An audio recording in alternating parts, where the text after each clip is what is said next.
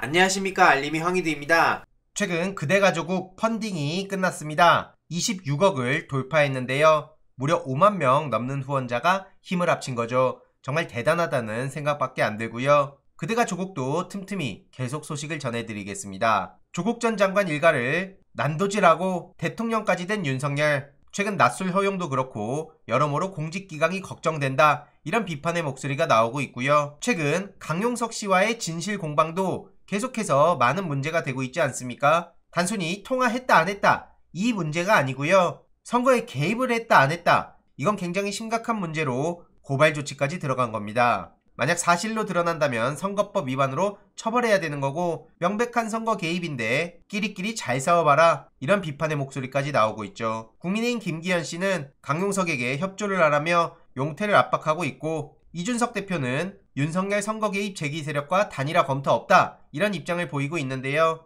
쇼다 아니다 이런 말도 많지만 중요한 건 선거 개입 관련한 실체를 들여다보고 무엇보다 김은혜 후보의 손바닥 뒤집듯이 입장을 바꾸고 대놓고 거짓말을 하고 그래서 현재 가짜 경기맘 논란에 가짜 애국자 남편 논란, 가짜 무용담 논란, 가짜 소녀가장 논란, 가식과 진심 이 사이에서 많은 비판의 목소리까지 나오고 있죠. 국민의힘이 얼마나 황당하냐면 이인영 전 장관을 향해선 자나깨나 북한을 생각한다면서 맹 비난을 퍼붓고 오죽하면 한국 장관 아니다 이런 막말까지 퍼부었던 게 바로 지금 국민의힘 사람들 아닙니까? 그런데 최근 윤석열 정부에서 코로나 백신을 북한에 지원하겠다. 무력 도발에도 인도적 지원 가능하다. 이런 입장을 보였습니다. 한국이 키를 지겠다며 바이든 대통령과 회담할 때에도 논의를 할 뜻이라는 보도가 나오고 있는데 만약 문재인 정부였다면 북한이 미사일을 쐈는데도 퍼주기를 한다. 빨갱이다. 오만 소리 다 했을 겁니다. 똑같은 잣대를 들이대면 윤석열 한국 대통령 아니다. 뭐 이런 얘기를 할 수 있는 거 아닙니까? 게다가 윤재순 비서관이 검찰 내부에선 별명이 EDPS였다고 합니다.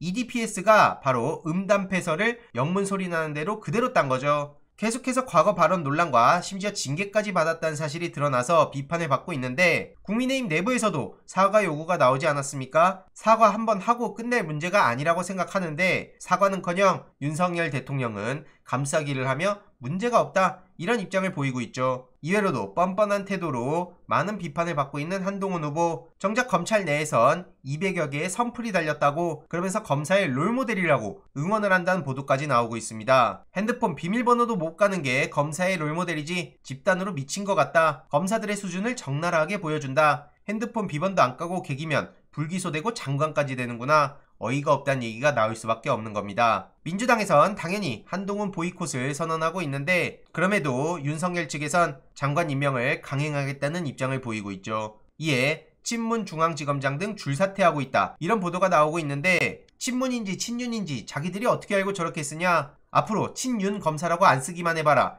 이런 비판도 나오고 있고요. 그리고 문재인 정부에서 정말 고생 많으셨던 정은경 청장도 이제 임기를 마친다는 소식이 전해졌습니다. 잠을 1시간 이상 자고 있다며 거의 24시간 국민들을 위해서 정말 고생 많이 하셨죠. K방역의 아이콘으로 등극하기도 했는데 박근혜 정부 당시 메르스 책임을 오히려 정은경 청장이 지기도 했었고 황당무계한 일들이 많이 벌어졌었는데 문재인 대통령이 취임한 후 질병관리본부장으로 발탁했고 이후로 질병관리청으로 승격되면서 초대 청장이 되기도 했죠. 한국형 방역체계는 세계의 주목을 받았고 올해의 여성 백인 세계에서 가장 영향력 있는 백인의 이름을 올리기도 했죠. 그래서 K방역이 OECD 코로나 우수 대응 보고서에 실린다는 소식까지 전해졌습니다. 정말 자랑스럽다는 얘기 말고는 안 나오는데요. 빠르고 투명한 정보 공유로 대중의 신뢰를 구축하고 사회적 연대와 협력 체계를 구축하고 사회적 약자의 정보 접근성을 강화하고 위기소통 대응팀을 통해 대한민국을 지켜낸 상황이죠. 해당 소식을 접한 시민들도